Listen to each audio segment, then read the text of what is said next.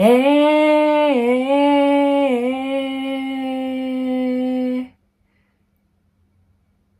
ー。じゃあちょっとだけ二次会いきます。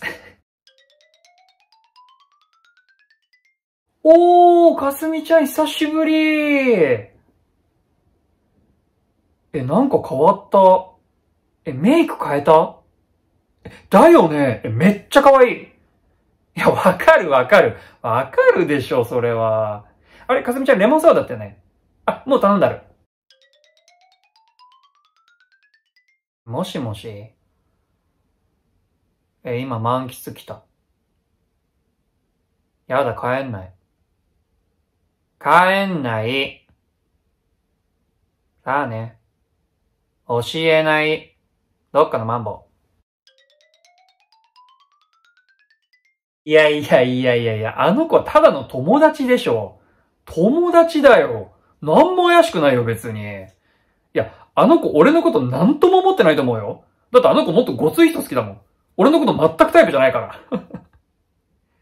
いや、俺がどう思ってるかっつうか、まず向こうが俺を好きにならないから。え？気になる人できたの？あれ？彼氏さんとまだ付き合ってるよね？え、だよね？あー。え、でも遊んじゃえばいいと思うよ。え、私全然いいと思う、別に。え、むしろ結婚してから不倫とかするぐらいだったら、結婚する前にいろんな男で遊んどいた方がいいと思う。えー、来たよ。飲んでる？あ、彼女？あー、大丈夫大丈夫。え、ってか今喧嘩中だからさ、あんま家にいたくないんだよね。えー、ね、私どうしたらいいと思う？え、なんか彼氏と喧嘩中にあつしくんから連絡あったのも、なんか運命な気もすんだよね。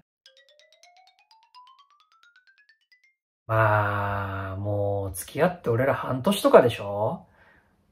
それいろんな不満出てくると思うよ。もう全然普通だと思うよ。人間だから。うん。まあそういう時はさ、なんか、美味しいもんとか食べて忘れようよ。寿司三昧え、誰？ああ、あゆみの中学校の時のあだ名？私絶対言わないよ。本人から聞いて。え、私絶対言わない。なんかこういうお酒の場のノリとかでも絶対そういうの言わないから。墓場まで持ってくよ。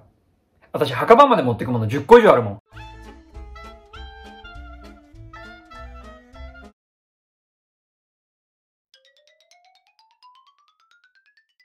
私浮気したことない。